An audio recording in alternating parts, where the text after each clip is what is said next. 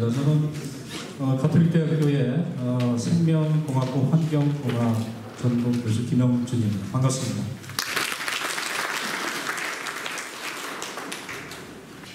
어, 제가 그 최동민 그 원장님, 어, 이 기술의 개발자이신 최동민 원장님을 알게 된 거는 한 2년 됐는데요. 어, 저는 그 5년 전에 어, 유기성 자원학회 회장을 맡았었습니다. 어, 그래서 이제 국내의 유기성 자원, 어, 소위 음식물, 또 슬러지, 이 가축 분뇨와 같은 이런 음식, 어, 유기성 폐 자원들을 어, 떻게 자원화할 수 있는가 아, 이 부분에 대해서 어, 그동안 많은 어, 연구와 어, 그리고 정책도 제시를 해왔습니다. 어, 그 과정에서 사실은 실질적으로 이런 유기성 폐, 폐기물들을 자원화할 수 있는 기술들을 적절히 개발해 보지 못했고 그 정책 또한 어, 자원화 정책이 한 20년이 흘러갔습니다만 제대로 자원화할 수 있는 기술이 정책이 되지 못한 것들에 대해서는 어, 저도 어, 학회의 회장을 맡고 있는 그 당시에도 상당히 책임이 있다고 생각하고 어, 대단히 그 많은 또 국민들한테 죄송하다고 생각을 어, 갖고 있었습니다.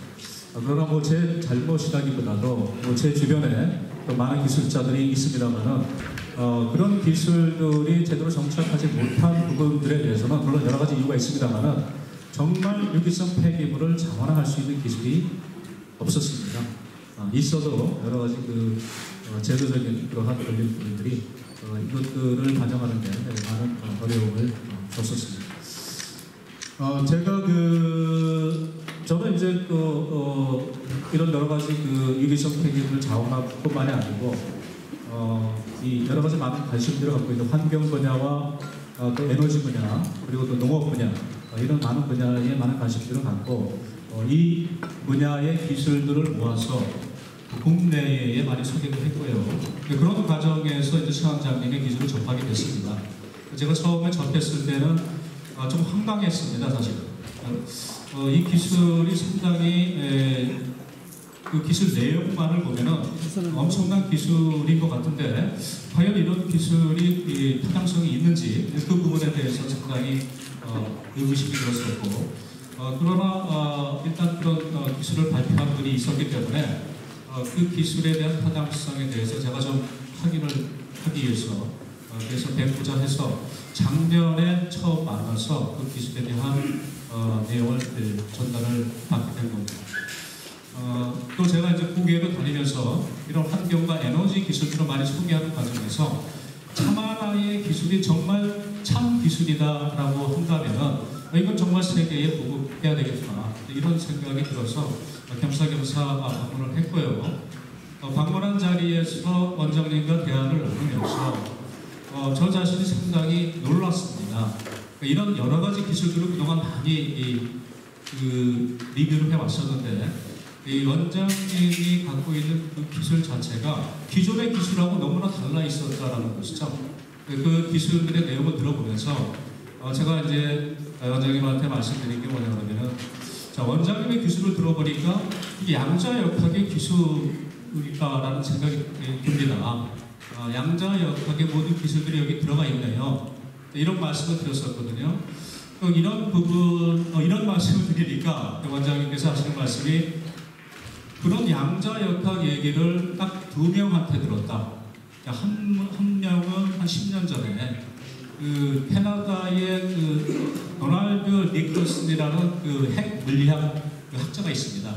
그 우리나라의 그 월성 원자력 그 발전소 고문으로 자문용으로 참여한 그런 아주 유명한 저명한 그 핵 물리학자인데 그분이 원장님하고 같이 우연히 만나게 돼서 대화를 하다가 원장님의 기술을 들어보니까 이게 양자역학인 것 같습니다 이렇게 얘기를 하는데 그 당시에 원장님은 양자역학이 뭔지도 잘 모르시고 어, 그런 말만 그냥 우연히 그런 저명한 학자로부터 듣게 되다 보니까 어, 그때 처음으로 이제 양자역학이라는 용어를 접하게 됐다는 말씀을 하셨습니다. 어, 그 기술 내용들을 잘 들으면서 제가 정말 놀랐습니다. 과연 이런 기술이 한국에서 나온 기술입니다. 자, 그 당시에 제가 원장님한테 말씀을 이렇게 드렸습니다. 정말 이 기술을 보고 제가 놀랐습니다. 그리고 이 기술은 자, 이런 말까지 표현을 했습니다. 이 말은 제가 기술 설명하기 전에 어, 반드시 먼저 드리고선 시작을 해야 여러분들이 좀 도움이 될 것 같아서 말씀드리겠습니다. 아마 그 받아보신 유익을 보면은 기술 발표회라고 있 기술 발표 내용이 있을 겁니다. 그죠? 네, 제가 작성해서 나눠드린 거니까 한번 참고하시고 저는 그 원장님의 기술을 접하고 이런 말을 감히 드렸습니다. 자, 20세기에는 에디슨이라는 사람이 나와서 세상의 밤을 환하게 비추는 전기를 발명을 했습니다. 근데 21세기에는 우리에게 닥친 어둠이 바로 에너지 위기와 환경 오염이라는 것이거든요. 이런 에너지 위기와 환경 오염의 어두운 면을 밝게 비춰줄 수 있는 분은 바로 최동민 원장님이십니다. 이런 말씀을 드렸어요. 아부하려고 한 게 아니라 너무 놀랬습니다. 그래서 과연 이러한 기술들이 정말 실질적으로 일어날 수 있는 기술이라고 하면 대한민국은 더 이상 고민할 필요가 없다. 이런 생각이 드는 겁니다. 제가 이제 이 기술 내용들에 대해서 말씀을 드리겠습니다만 너무 여러 가지 다양한 복잡한 내용들이 있기 때문에 그런 부분은 생략을 하고요. 자, 그럼 지금부터 어, 이 내용에 대해서 어, 제가 간략하게 설명을 드리도록 하겠습니다. 어, 제가 시간 역사가 중에서 어제 다 작성을 했습니다. PPT를. 그래서 좀 미흡한 부분이 있더라도 이해를 바랍니다. 자, 환경오염과 아, 에너지 보관, 어, 여러분들 너무나 잘 알고 있는 인류에게 닥친 최고의 위기라고 볼 수가 있습니다. 제가 그, 어, 지금 뭐 이런 화석연료, 어, 석유와 석탄과 가스 화석연료 사용으로 인해서 지금 현재 우리가 겪고 있는 것이 바로 에너지 위기 그리고 또 각종 환경 오염 아니겠습니까? 자 이렇게, 이렇게 하다 보니까 이제 여러 가지 이제 쓰레기 문제들이 어, 대두가 된 거죠. 어, 음식물 쓰레기 정말 어, 처치곤란하고요. 제가 사실은 대한민국이 어, 장악해 있을 때 대한민국이 자원 빈국이지만 음식물만 가지고서 우리가 제대로 자원할 수 있으면 자원 강국이 될 수 있다고 항상 얘기해 왔습니다. 어, 과연 그런 날이 올수 있겠는가 아, 그런 어, 생각을 많이 해봤습니다만 자 아무튼 오늘 여러분들이 들으면서 판단을 해주시기 바랍니다. 어, 또 최근에 여러분들이 잘 알고 계시겠지만은 바로 이, 이 플라스틱 폐기질 대란이 일어나지 않았습니까? 이게 국내뿐만이 아니라 전 세계적으로 일어나고 있는 이 폐기물 예, 예, 그 재난 아닙니까? 그 재활용 쓰레기 대란해서 신분 지상에도 많이 오르락 내렸던 그런 기사가 되겠습니다. 자, 아, 이런 것들을 해결할 수 있는 어, 이 기술들이 물론 여러 가지가 있, 있겠습니다만 제가 아, 차만화 기술을 이것과 관련해가지고서 간략하게 특징을 어, 들자면 어, 차만화 기술은 그야말로 자원선순환 구조를 완성시키는 기술이다. 어, 자원선순환이라는 것은 인간이 살면서 어쩔 수 없이 발생하는 그 폐기물과 폐수들을 지금까지는 예, 폐수와 폐기물을 처리한다고 하지만은 제가 이제 환경공학에 있으니까 너무 잘 알고 있거든요. 그런 기술들을 보면은 자원화할 수 있는 건 물론 자원화가 되겠지만 대부분은 어디로 갑니까? 예, 매립이나 소각이나 해양 배출 자원화할 수 없는 것들은 그렇게 왔죠. 음식물 쓰레기도 마찬가지고 쓰러지도 마찬가지입니다. 자원화한다고 했지만 결국은 다 아, 돌려보낸 것은 다 해양이나 그 다음에 땅속이나 그 다음에 소각해서 대기로부터 방출을 해왔습니다. 아, 이러한 그 현존하는 그런 환경 기술은 그 자체가 처리 기술이라고 하지만 실질적으로는 제2, 제3의 환경 오염을 유발하는 기술들이거든요. 결국 그런 환경 오염의 그, 제, 그 범위에서 벗어날 수가 없다는 겁니다. 그래서 이런 것들이 계속 누적이 되면 지구 환경은 그야말로 환경 오염 물질로 가득 차게 될 것이다. 라는 그런 악순환의 구조. 어, 악순환, 순환 한자가 빠졌습니다만, 악순환의 구조에 걸릴 수밖에 없다라는 겁니다. 아, 이에 반해서 차만화의 기술은 이 폐기물과 폐수와 같은 아, 이런 것들을 모두 에너지로 전환을 시켜서 이 에너지가 뭡니까? 우리가 살아가는 데 필요한 물질을 생산하는 데 필요한 거 아니겠습니까? 이런 에너지를 물질 생산에 이용을 하고 여기서 발생하는 폐기물과 폐수는 다시 에너지로 돌리는 어, 바로 이러한 자원선순환 구조를 완성시키는 기술이다. 이렇게 말씀을 드릴 수가 있겠습니다. 아, 오늘은 사실은 폐기물에 대해서만 제가 아, 말씀을 드리겠습니다만 이 폐기물을 예를 들어서 어, 첨단한 기술로 가능, 어, 처리 가능한 폐기물을 보면은 어, 물론 금속류는 어, 연소 어, 물론 금속류도 연소를 할 수 있겠습니다만 그 제외한 모든 유무기 폐기물, 산업, 생활, 또 유전 폐기물, 석탄 폐기물, 폐석, 폐석고 등 어, 그 종류가 아, 정말 어, 한정이 안 되는 그런 많은 폐기물들을 갖다가 처리할 수 있는 그런 기술이라고 말씀드릴 수가 있고요. 어, 또 폐수는 처리 가능한 폐수는 어, 소위 우리가 어, 현재 우리가 사용하고 있는 이 폐수 처리 기술들, 소위 생물학적 기술들이 처리하지 못하는 그런 나무래성, 고농, 악성, 그 다음에 각종 산업 어, 폐수들 이런 것들도 다 처리가 가능한 그런 기술이다 어, 이렇게 말씀을 그, 드리겠습니다. 자, 이런 이 기술 가지고서 적용할 수 있는 분야가 어, 어, 떤 산업 분야에 적용이 될 수 있는가? 아, 제가 이제 어, 사실은 이제 급하게 적다 보니까 몇 가지 나, 저, 저 나열을 못했습니다만은 가장 생각나는 분야 환경, 에너지, 그 다음에 농수산식품, 주거, 의료 이렇게 어, 설, 어, 설정을 좀 해봤습니다.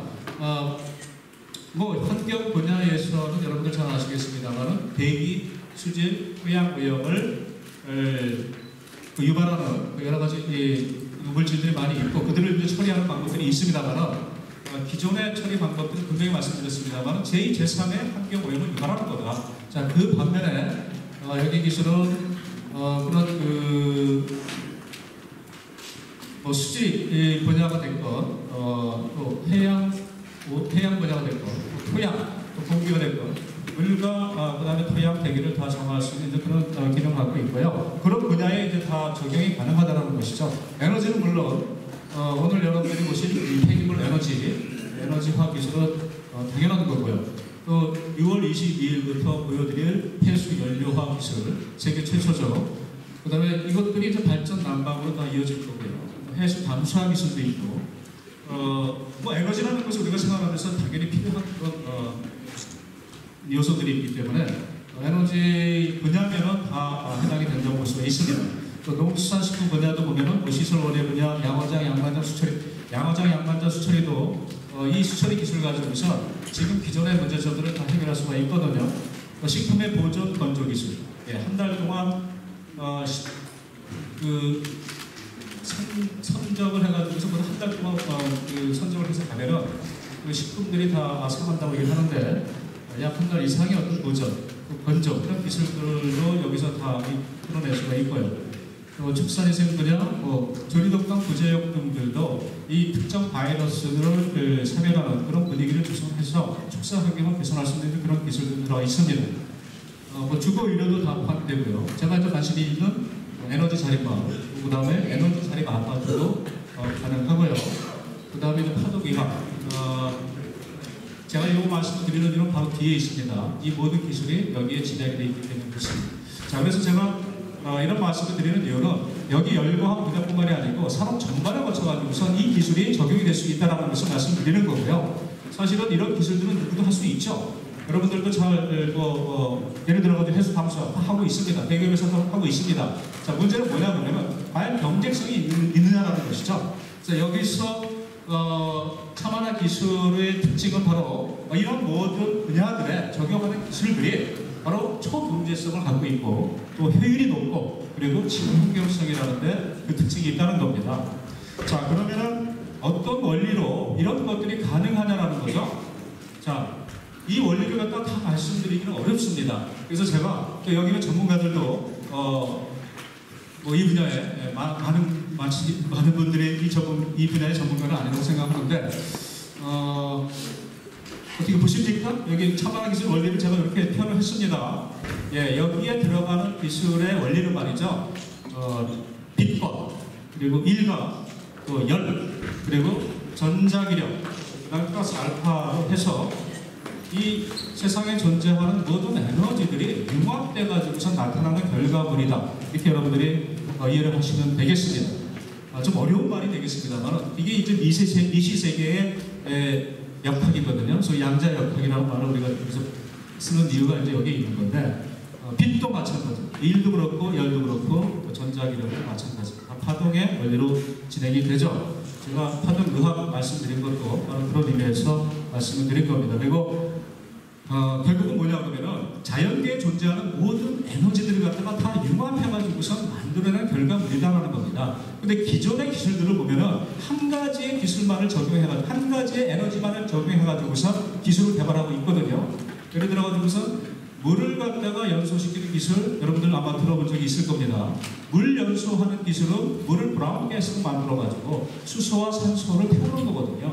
근데 그 과정에 들어가는 에너지는 전기 에너지, 전해질이 들어가 있습니다만은 하나의 전기 에너지만 사용해가지고서 브라운 가스를 만들어가지고서 물을 연소시키면은 그거는 하나의 에너지만을 사용하게 됩니다. 그러니까 제가 비유를 들어서 말씀을 드리는 겁니다. 차만화 기술의 원리는 이러한 전기뿐만이 아니고 거기에는 자기도 들어가 있고 빛도 들어가 있고 열도 들어가 있고 우일도 들어가 있고 우리 자연계에서 볼 수 있는 모든 에너지들이 총체적으로 집합이 돼가지고서 이들의 시너지적인 효과에 의해서 결과가 발휘가 된다는 데 있습니다. 그래서 이러한 기술에 의해서 어떤 폐기물 폐수도 바로 에너지로 만들 수 있다는 겁니다.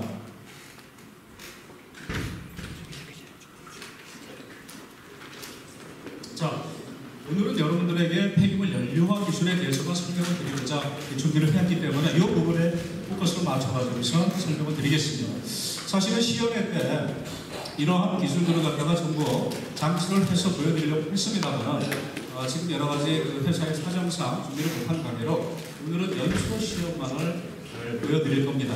그러나 이런 과정을 거쳐가지고서 만들어지거든요.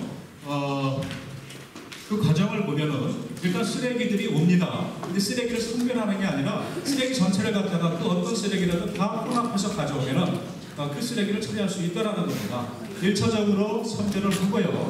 그리고 1차적으로 분쇄를 하면은 이런 포퍼에 쓰레기를 담고 또 거기에 이제 첨가에 극한 그런 기술이 첨가제를 혼합을 하게 됩니다. 아, 이게 첨가제라는 것도 이제 나중에 여러분들 궁금하시면 말씀드리겠습니다만은 어, 자연에서 만들어낼 수 있는 그런 친환경적인 재료를 가지고 아주 값싸고 경제적으로 만들어내는 거거든요. 자 이렇게 해서 어, 이들을 어, 혼합해서 그러니까 쓰레기가 들어와서 1차적으로 분쇄해서 선별하고 난 다음에 pom퍼에다가 이것들을 혼합을 시키면은 수분 함량을 조절해가지고서 곧바로 통돌이라는 데로 들어가는데 오르 통돌이라고 명명을 했습니다. 예, 아시는 분도 계시겠습니다만은 오르라는 것은 빛이라는 뜻이거든요. 여러분 성경도 잘 아시겠습니다만은 어, 오르는 예, 빛이 있으라 할 때 그때 이제 오르라는 말을 히브리어로 쓰였죠. 여기서도 어, 빛을 상징하는 오르를 따와서 오르통돌이라고 어, 이름을 줬습니다. 이 안에서 2차 분쇄와 교반과 건조 탈취 발효가 이루어지고요.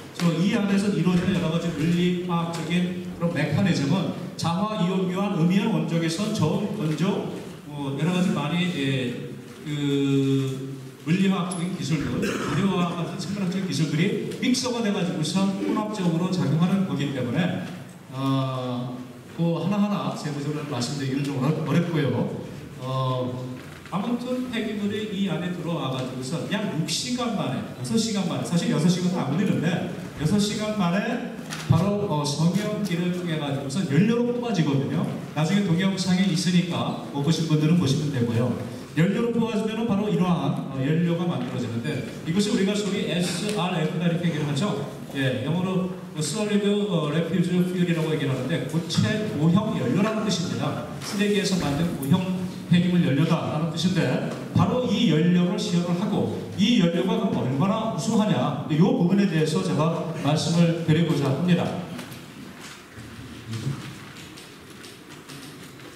자, 생성 연료의 특성을 제가 간략하게 이 세 가지 관점에서 분류를 해봤습니다. 자, 고효율성이고요. 하나는 친환경성이고 경제성. 아까 말씀드린 내용이거든요. 자, 고효율성이라는 것은 연료의 저희 발열량. 저희 발열량이라면은 이 연료에서 돈을 뺀 거거든요. 네, 그것이 굉장히 중요합니다. 왜냐? 이 저희 발열량이 3,500이 넘어야 화력 발전소, 발전소에 연료를 쓸 수가 있습니다. 그런데 지금 SRF 회사에서 만들어내는 모든 SRF는 절대 3,500이 나올 수가 없어요. 2,500 미만입니다. 1,000 이하도 있습니다. 그거 가지고서 화석연료의 발전용 연료를 쓸 수가 없거든요. 그러니까 이런 어, 차만화 기술의 고체 연료화 기술이 이 제품이 3,500 이상이 나온다는 것은 대단히 획기적인 네, 그러한 기술이 아닐 수가 없다라는 겁니다. 자, 또 어, 고온 연소가 이루어지고요. 완전 연소 거의 이루어지고 있습니다. 여러분들이 보시면 아시겠습니다만, 자, 완전 연소 왜 중요합니까? 고온 연소 왜 중요합니까? 우리가 SRF 열병합 발전소 주민들이 왜 반대합니까? 대기오염 물질에 다이옥신 나온다고 반대하죠? 왜 나옵니까? 그게 열, 열, 열 불완전 연소와 연소 온도가 낮아서 나오는 거거든요. 그런 걱정할 거 없다라는 거예요. 자, 유해 물질 발생 없고요. 배기가스 배출은 낮습니다. 아, 말씀드리자면은 석탄, 보다 신청정한 의연탄 수준의 연료다. 이렇게 말씀을 드릴 수 있고요. 자, 친환경성은 어떻습니까? 아, 무연탄급의 청정 연료고요. 배출가스가 최소화되고 또 악취, 얼음 등이 없죠. 끓음이라는 것은 불완전 연소 작용이거든요. 그러니까 완전 연소로 가면 끓음이 있을 수가 없습니다. 일산화탄소 나올 수가 없죠. 자, 소각면이 불필요하죠. 그 다음에 음식물 축산 분뇨 슬러지들을 사용하게 되면 지금 가장 큰 문제점이 거기에 그 액상 물질들이 있다라는 거죠. 함수율이 한 90%, 95% 되는데 자 이런 것들을 처리하다 보니까 바로 이런 폐수, 발생 폐수에 대한 처리가 문제가 됩니다. 이러한 폐수조차도 이 안에서는 다 자원화된다라는 겁니다. 폐수를 따로 처리할 필요가 없다라는 겁니다. 자 경제성은 아까도 말씀드렸습니다만 기존에 에, 뭐 시설에 비해서 상당히 예, 그 비용이 예, 낮은 예, 그런 어, 것들이고 그 투자의 수기간 1년이래 이게 죄송합니다만은 예, 제가 계산해 보니까 이 1년 이내 나오는 게 있더라고요. 예, 사실은 너무 좀 가장됐을 것 같아가지고 제가 좀 빼려고 했는데 6개월짜리 게 있습니다. 홍보하려고 하는 게 아니고 제가 체- 체크를 한 겁니다. 자, 탄소배출권 당연히 가져오죠. 연료 형태 이렇게 나옵니다. 예, 이런 어, 보시면은 파란 불꽃이 나오는 그 자체가 고온에다가 완전 연소로 간다라는 얘기입니다.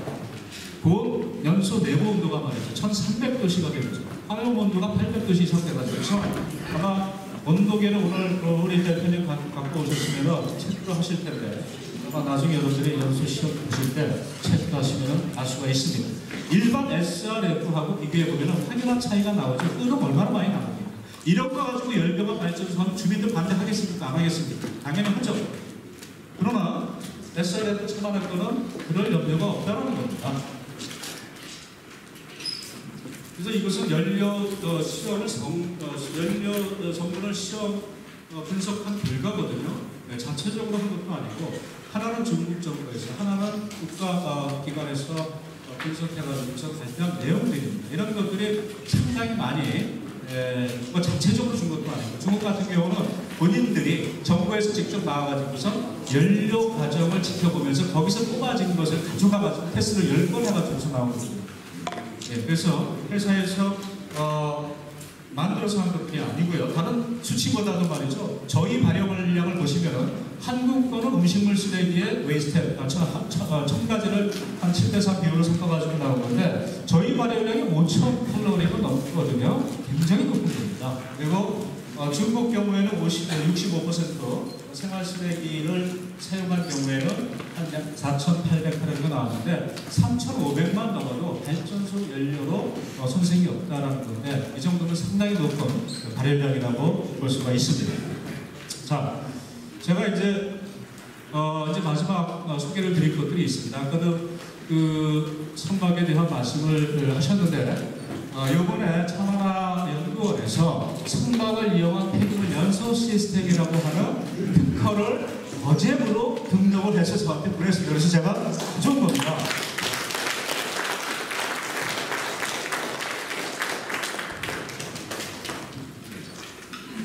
날짜 보세요. 5월 29일이죠. 네.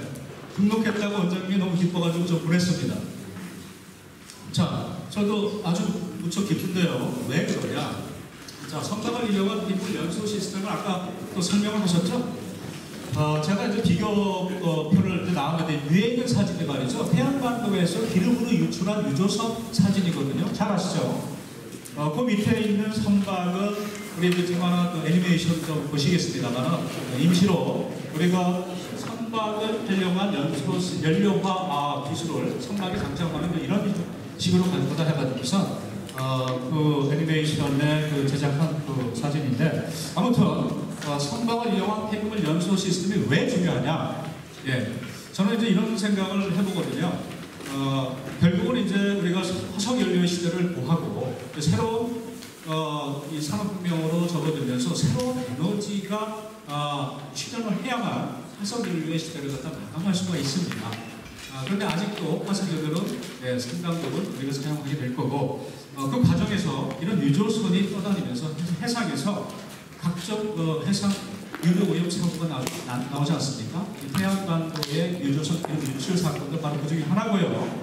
자, 저는 더 이상 바다에서 이런 유조선이 떠다니는 게 아니고 차만하의 선박이 전 해상을 갖다가 떠다니면서 전 세계에 새로운 연료를 보급하는 그날을 희망하고 있습니다. 그래서 제가 아, 이 부분은 정말 저도 굉장히 아주 흥분되는 그런 부분이거든요.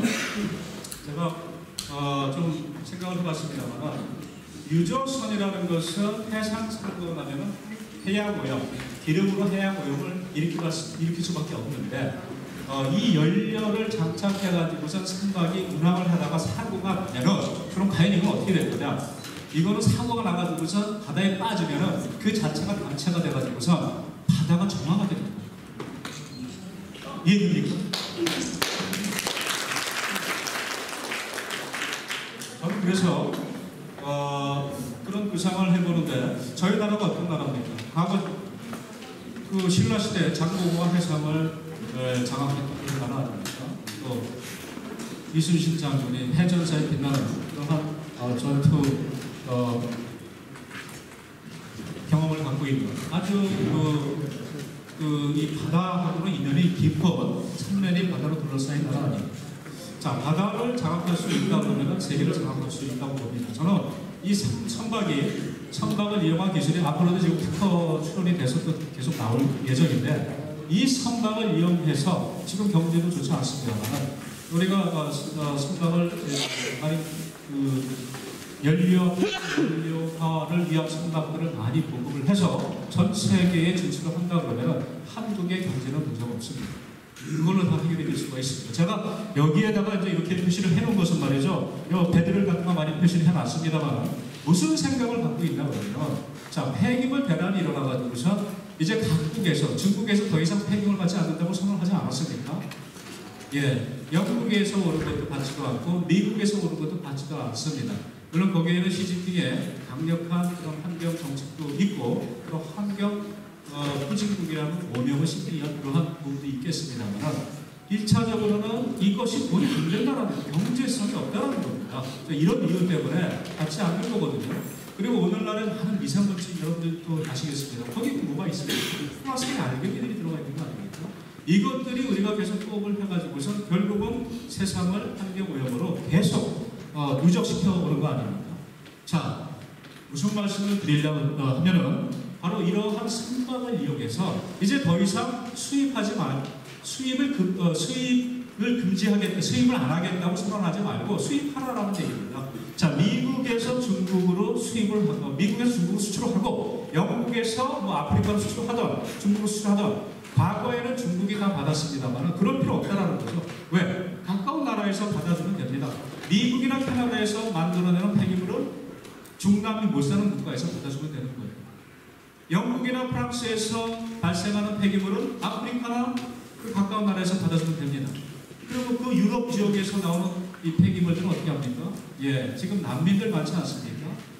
카자흐스탄이나 그런 쪽에 가가지고서 그런 사람들이 폐기물 받아가지고서 이 차만화의 기술이 들어가가지고서 사업을 하나 이겁니다. 그 양쪽에서 돈이 나오지 않습니다. 자, 멀리 갈 필요도 일본에서 나오는 것은 네, 동남아에서 나옵니다. 아까 그 우리가 지금 어, 남북이 굉장히 그 평화로운 그런 부분으로 지금 진행하고 있다고 아나운서님도 이제 그런 말씀을 하셨는데 아, 저는 이제 그런 생각을 해봅니다. 아, 북한이 연료가 없어서 좀 주면 좋지 않겠네요. 물론 당연히 해줘야 되겠죠. 우리가 남한에서 굳이 어떤 경제력을 갖다 생각하기보다도 북한이 북한이 일본이나 고추기로 한다고 합니다만 일본에서 선진국에서 폐기물을 받아서 처리해가지고 연료로 만들 수 있다고 굳이 큰 돈 들이지 않아도 다 살릴 수 있는 게 아니에요. 그래서 이런 어, 구상을 한번 해보면서 정말 이 기술이 하루빨리 장착이 돼가지고서 한국이 아까도 다 아, 말씀하셨습니다만 전그 세계 경제 진출에다가 주도하는 그런 나라가 되기를 원하고 그리고 세계가 정말 이러한 기술을 보급함으로 해서 환경 오염을 물론이고 전 인류가 평화롭게 살 수 있는 그런 세상을 꿈꾸면서 어, 제그 발표를 갖다가 마치도록 하겠습니다. 그 마지막은요. 예, 이 사진이거든요. 이분이 원장님이십니다. 계시고 여기 이제 제가 작년에 어, 겨울에 들어가가지고서 그 지금 그 사진을 찍을 그런 어, 사진이 되겠습니다. 자, 제가 그 이 곧이어서 이제 발표를 하실 분이 계신데요. 이 부분을 소개한 이유는 자 이것이 현실 가능한 것이냐에 대해서 금융적으로 아주 간- 명료하게 풀어줄 분이 계십니다. 그래서 어, 어, 우리 저기 어, P&D의 예, 김용기 사장님이 이런 부분들을 어떻게 풀어낼 것인가에 대해서 설명을 해드릴 겁니다. 예. 저 부탁드리면서 큰 박수로 여러분 많이 주시기 감사합니다. 아, 가톨릭 대학교 우리 생명